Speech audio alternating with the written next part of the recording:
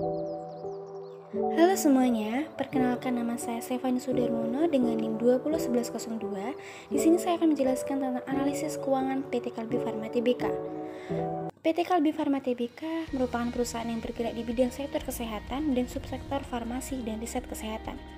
PT Kalbi Farma didirikan pada tanggal 10 September tahun 1966 Perusahaan dengan kode saham KLBF ini memproduksi obat-obatan, suplemen makanan, nutrisi, dan layanan kesehatan dengan kantor pusatnya di Jakarta, Indonesia.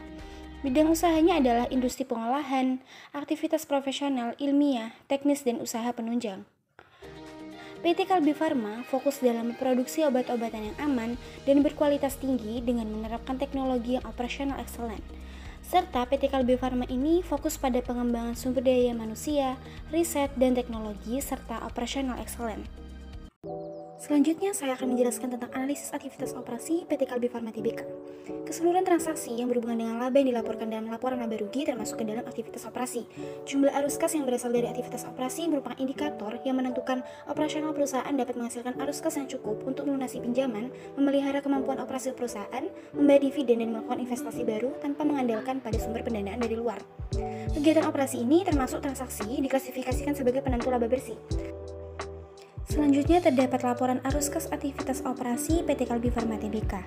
Berdasarkan data tersebut, PT Kalbi selama lima tahun terakhir yaitu dari tahun 2016 hingga tahun 2020 menunjukkan bahwa adanya penurunan arus kas pada tahun 2016 ke tahun 2017 yaitu sebesar 7,2 persen dan pada tahun 2017 ke tahun 2018 menunjukkan adanya peningkatan sebesar 37,9 persen serta untuk tahun 2018 ke tahun 2019 ini mengalami penurunan sebesar 9,7 persen dan untuk tahun 2019 ke tahun 2020 menunjukkan adanya peningkatan yang cukup signifikan yaitu sebesar 68,7%.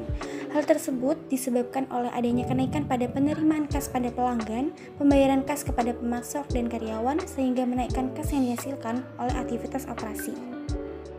Selanjutnya, data penerimaan dan pengeluaran arus kas operasi PT Kalbe.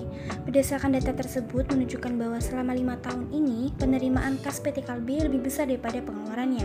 Hal ini menunjukkan bahwa arus kas dari aktivitas operasi dapat dikatakan mengalami kondisi yang positif, yaitu perusahaan memiliki lebih banyak kas masuk daripada kas keluar.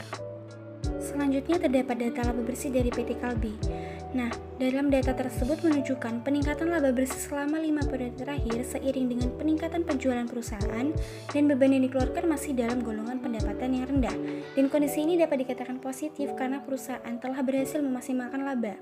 Pada tahun 2020, laba bersih tertinggi yaitu sebesar 2 triliun 799 miliar 622 juta 515 18 ribu atau sebesar 9,36 persen dan laba terendah dalam lima periode ini yaitu pada tahun 2016 yaitu sebesar 2 triliun 350 miliar 884 juta 933.551 atau sebesar 12,5 persen. Next, terdapat pertumbuhan laba PT Kalbi Farma. Berdasarkan data pertumbuhan laba dari PT Kalbi selama lima periode terakhir menunjukkan pertumbuhan pendapatan tertinggi pada tahun 2020 sebesar 10,32 persen. Nah, hal tersebut dikarenakan pendapatan yang diperoleh ini tinggi dan pendapatan dihasilkan dari penjualan produk sudah optimal, serta biaya masih relatif rendah sehingga mempengaruhi pertumbuhan laba yaitu secara positif.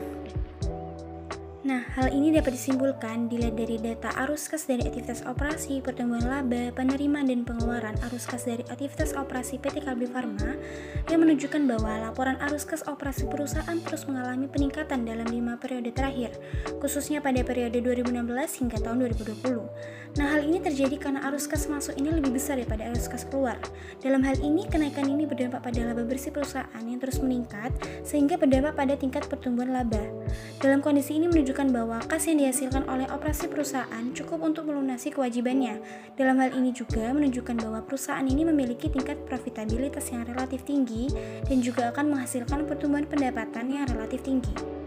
Nah, di mana hal ini menunjukkan bahwa arus kas dari aktivitas operasi PT Kalbi Farma dapat menilai kualitas pertumbuhan laba tahunan yang menunjukkan bahwa arus kas dari aktivitas operasi dapat mempengaruhi tingkat pertumbuhan, laba masa depan angkat meningkat atau menurun, yang mempengaruhi kemampuan perusahaan untuk membayar dividen kepada investor. Baik, sekian penjelasan yang dapat saya berikan, kurang lebihnya mohon maaf. Wassalamualaikum warahmatullahi wabarakatuh.